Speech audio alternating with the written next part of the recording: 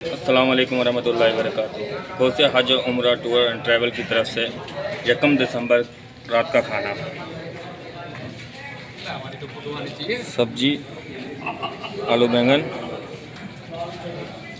आलू चना पानी पूरी के लिए, खिचड़ी कड़ी खट्टा पानी, मीठी चटनी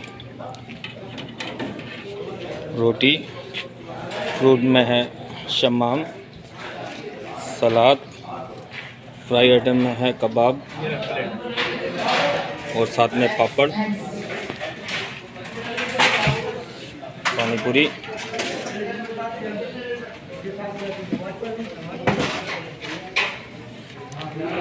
चाय, जूस और डिस्पेंसर में पानी।